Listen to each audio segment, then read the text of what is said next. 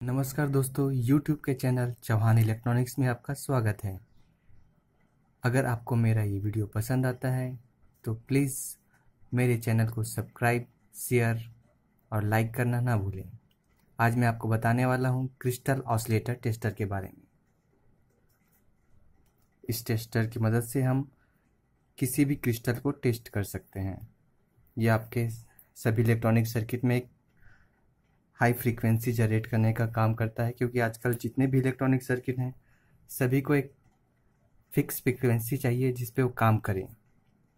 और जब हम ऑसलेटर को टेस्ट करते हैं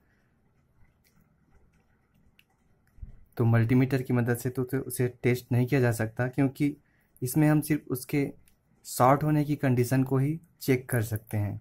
अगर वो ओपन हो गया तो उसके बारे में हम तो सिर्फ़ सीआरओ की मदद से या क्रिस्टल टेस्टर की मदद से ही टेस्ट कर सकते हैं।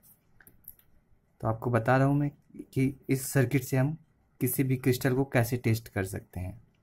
इसमें दो, तीन स्टेट रहते हैं।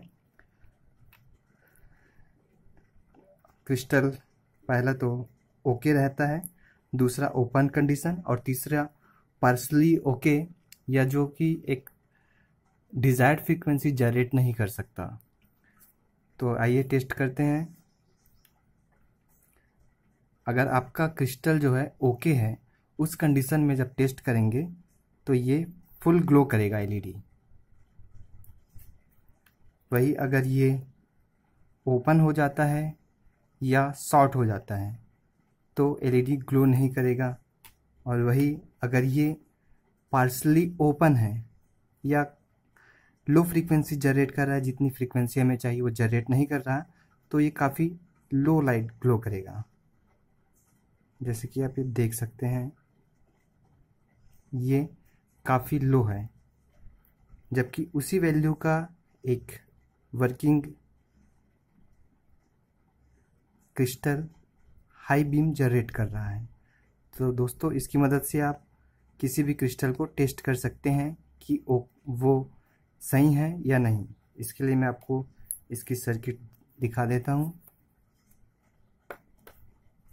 ये सर्किट है जिसकी मदद से आप किसी भी क्रिस्टल को टेस्ट कर सकते हैं। इस पॉइंट पे आपको क्रिस्टल को इंसर्ट करना है। ओके दोस्तों thank you for watching my video